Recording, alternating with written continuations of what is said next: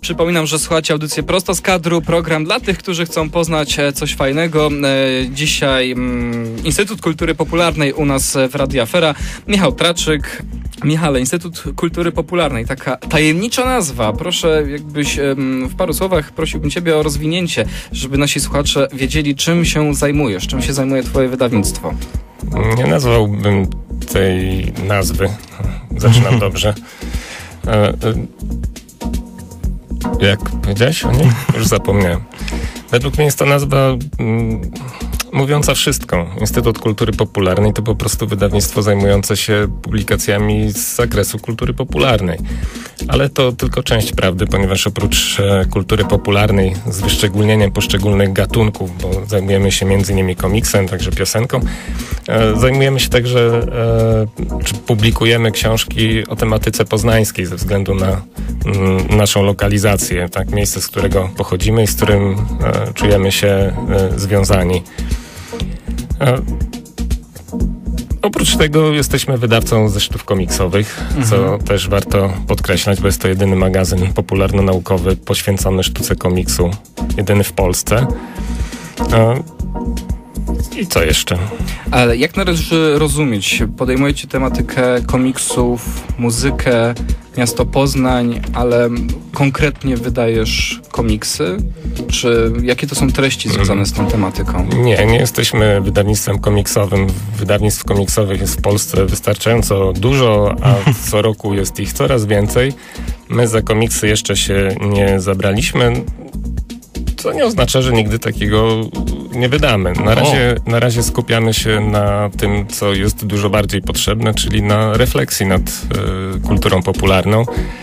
Mm, no i to jest powód naszego spotkania, tak? Wydaliśmy w zeszłym roku trzy książki poświęcone komiksowi. E, książki Pawła Gąsowskiego, Jerzego Szyłaka i, i pracę zbiorową pod e, redakcją moją i Justyny Czaj, wydaną wspólnie z Biblioteką Uniwersytecką w Poznaniu, z którą e, odkąd istniejemy, e, współpracujemy, staramy się mm, pielęgnować tę przyjaźń. Na jednej recenzji, w jednej recenzji bodajże na Alei Komiksu e, padło takie zdanie, stwierdzenie, że teraz Poznań stał się stolicą e, teoretycznej, znaczy stolicą teorii komiksu. Nie, nie zacytowałem teraz tego zdania, ale jakby... Parafraza. Tak, że jakby informacja, że teraz wszystko, co związane z teorią komiksu, jakby wszelkie publikacje, akcje, to, to jest właśnie, centrują się w Poznaniu. Czy zgodzisz się, że w tym momencie dzięki twojej działalności Poznań stał się jakby taką stolicą tej teorii komiksu? Z jednej strony to, to, to miłe, ponieważ e, rzeczywiście dokładamy starań, żeby zaznaczyć swoją obecność na rynku. E, z drugiej strony nie jest to do końca prawdziwe, bo podejrzewam, że nie jesteśmy i nie będziemy jedynymi wydawcami, tym bardziej ten rynek nie będzie się skupiał tutaj na, na Poznaniu, czego zresztą bym sobie życzył, tak? ponieważ im więcej wydawców, im więcej książek o komiksie, tym, tym lepiej dla komiksu i mam nadzieję, że w końcu zwłaszcza komiksiarze to zrozumieją. Ja chciałem się spytać, czy wciąż uważasz, że jest luka do wypełnienia, jeśli chodzi o teorię komiksu, ponieważ e, podejrzewam, że laicy w tym zagadnieniu pomyślą, no okej, została wydana książka o teorii komiksu, no to temat wyczerpany, co jeszcze można napisać? Ale pamiętajmy, że oprócz teorii komiksu jest jeszcze historia komiksu. I to jest temat y, z teorią w sumie związany niero, nie, nie, nierozerwalnie i dużo bardziej obszerniejszy i dużo bardziej wymagający. Znaczy te, te, te, do teorii też trzeba czuć y, powołanie, tak? Nie każdy mm, teorią może i powinien się zajmować. Mamy w kraju y, specjalistów, myślę, że będą pojawiać się następni.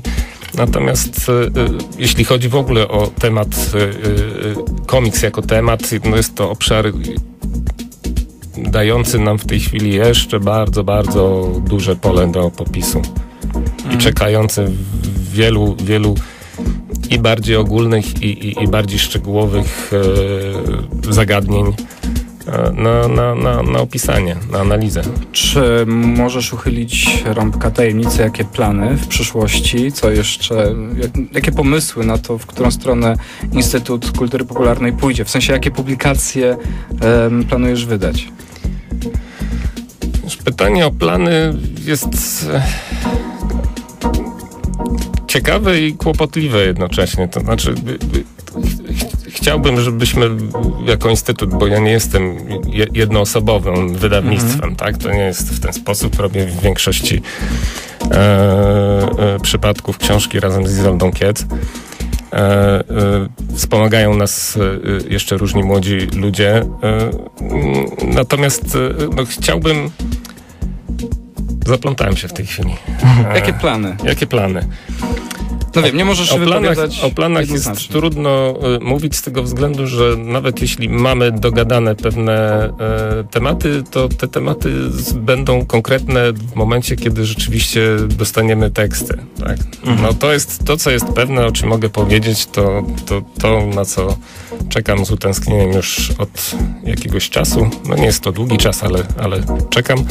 To jest książka Wojciecha Birka. E, Henryk Sienkiewicz w obrazkach. O, proszę bardzo. To jest książka o ilustracjach, e, grafikach samego Sienkiewicza, który tego większość ludzi może nie wiedzieć, ale także rysował. E, bardzo lubił to, to robić, natomiast nie robił tego zawodowo.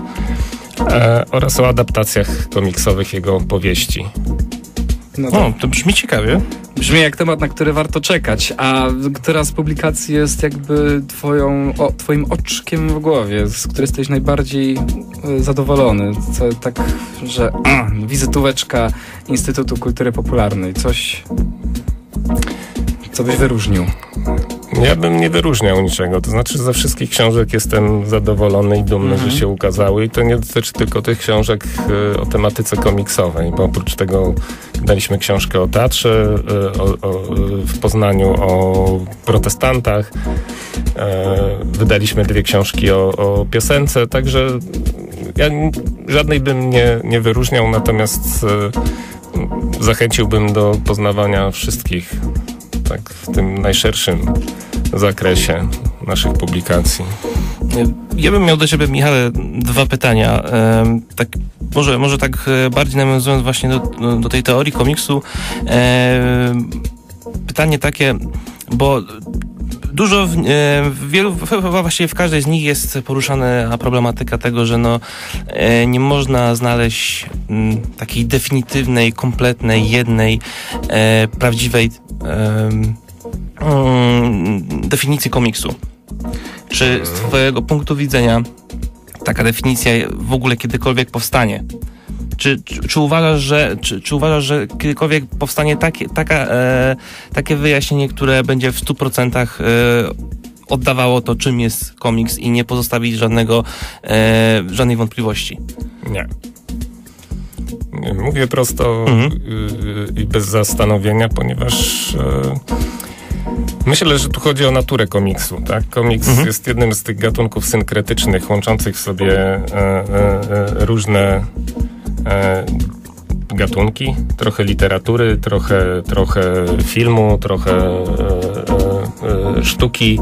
A w gruncie rzeczy tak naprawdę jest gatunkiem osobnym, tak? wykorzystującym pewne, pewne elementy z innych dziedzin, innych gatunków, natomiast to wszystko sprawia, że w gruncie rzeczy jest bardzo trudno mówić e, o komiksie jako o, o, o jednym, e, e, jednolitym zjawisku. W związku z mhm. tym tak naprawdę za każdym razem, kiedy ktoś zabiera się za pisanie o komiksie, musi zdefiniować sobie sam to, w jaki sposób komiks rozumie, w jaki sposób na niego patrzy. Mhm, rozumiem. E, I takie drugie pytanie, ściśle powiązane z działalnością wydawniczą. Skoro Instytut Popkultury e, Kultury Popularnej... Ciekawe, że jeszcze odmian Skoro Instytut Kultury Popularnej, mamy, e, wspomnieli, że nie, to są nie tylko książki o komiksie, ale też o, o innych dziedzinach. Jakieś plany na e, książkę poświęconą teorii, badaniom e, animacji? Animacji? Stricte. Seriali animowanych, filmów animowanych. Na razie nikt się nie zgłosił do mnie z tym pomysłem. Aha. No, Powiem tak, nie, nie wszystko jesteśmy w stanie Mhm. sami wymyślić i sami, sami napisać. Tak, No, tak naprawdę chodzi o to, że e, nasze wydawnictwo jest także miejscem czy platformą dla tych wszystkich, którzy mają coś ciekawego do powiedzenia i się do nas zgłoszą. Tak? To jest Mhm. e, e, z jednej strony my szukamy autorów, z drugiej strony autorzy przychodzą do nas i pytają, e, czy jesteśmy zainteresowani e, jakimś e, tytułem. My czekamy.